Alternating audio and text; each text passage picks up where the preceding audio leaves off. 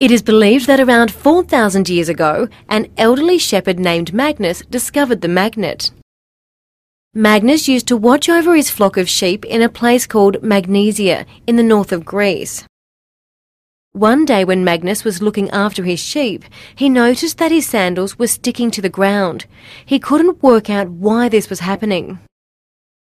Magnus decided to take a closer look and noticed that the metal nails in his sandals were attracted to some kind of special rock. This rock was known as a lodestone. This was the first magnet.